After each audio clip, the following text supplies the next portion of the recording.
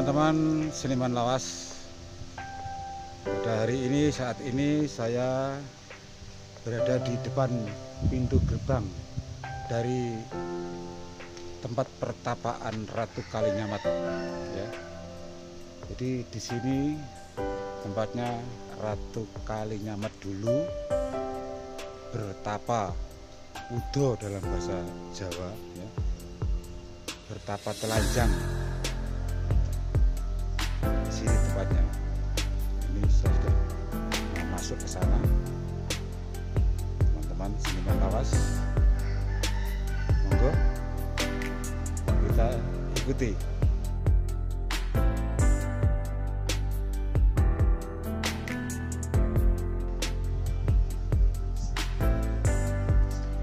Ini merupakan pintu gerbang yang pertama teman-teman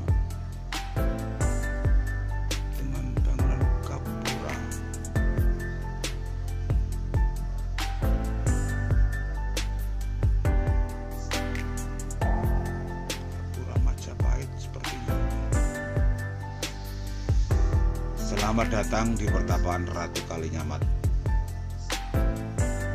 Yang lebih tepatnya ada di Dukuh Sonder.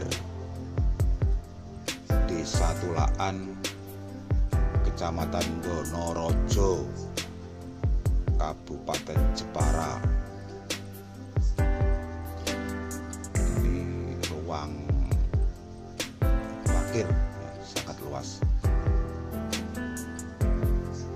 sana nampak gapura yang kedua. Sangat bagus sekali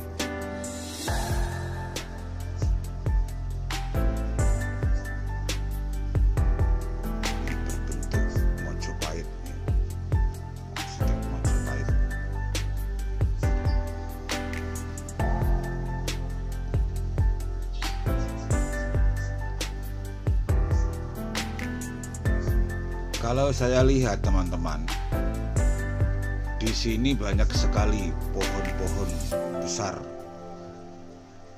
pohon-pohon zaman dulu jadi saya bisa menyimpulkan bahwa di Sonder ini dulunya adalah hutan belantara yang sangat gelap sekali. Jarang terjamah oleh orang. Bahkan terkesan di sini tempatnya tempat wingit. Tempat yang menyeramkan. Istilah Jawa jalmo moro jalmo mati.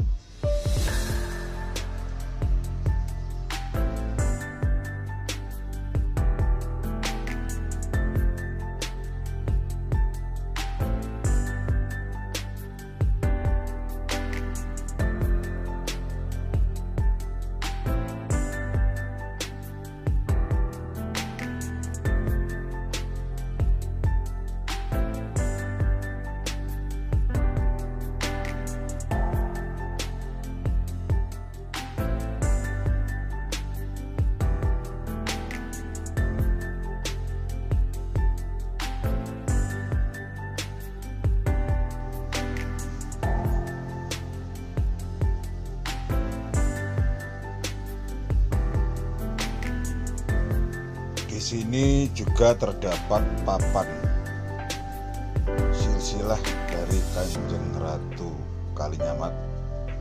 Ya. Di sebelah kiri ini menunjukkan bahwa Ratu Kalinyamat ada garis keturunan dari Mojopahit. Dari Prabu Brawijaya yang keempat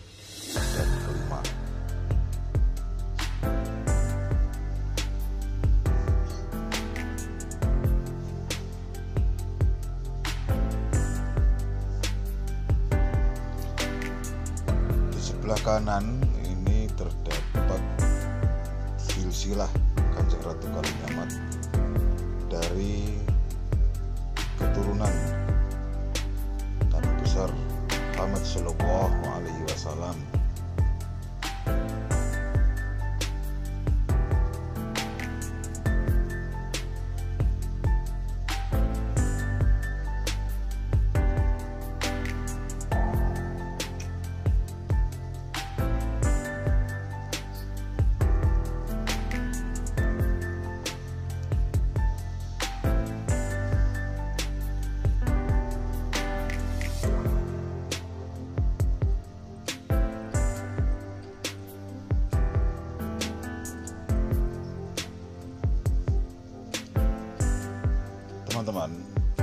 Dalam kain kuning dan putih ini terdapat batu asli batu yang asli yang menurut cerita batu ini dulu eh, dibuat tempat duduk oleh kanjeng Ratu Kaliamat di kala beliau sedang bertapa.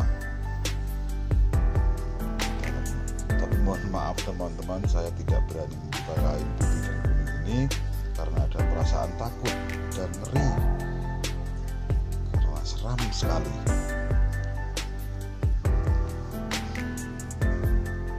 Tapi oleh juru kunci dan teman-temannya dibuatkan batu duplikat. Kira-kira bentuknya seperti ini yang asli. Kira-kira batunya seperti ini tapi mohon maaf ini hanya duplikat. Bisa anda saksikan duplikat dari batu yang asli.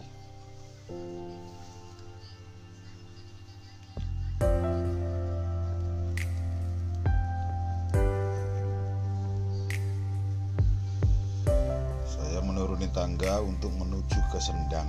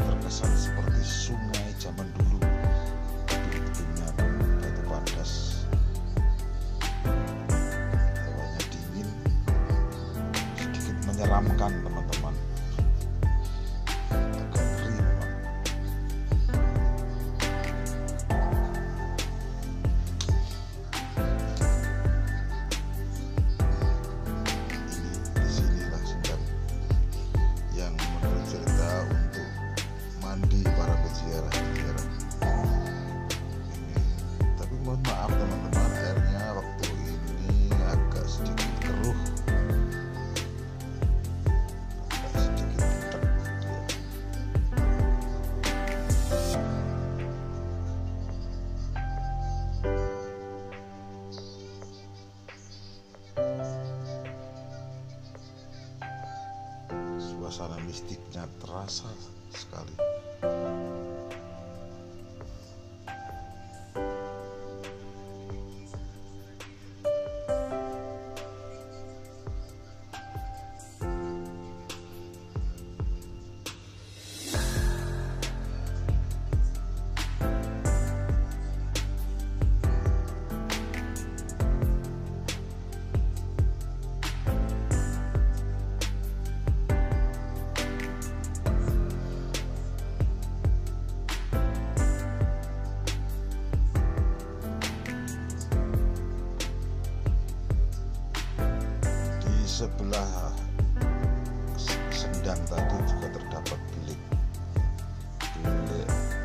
kecil yaitu di bawah pohon.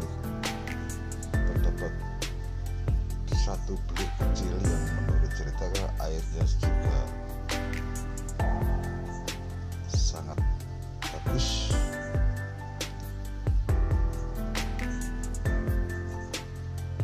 Oke teman-teman berhubung waktunya sudah agak siang dan agak panas kali ini saya mohon pamit segera pulang oke terima kasih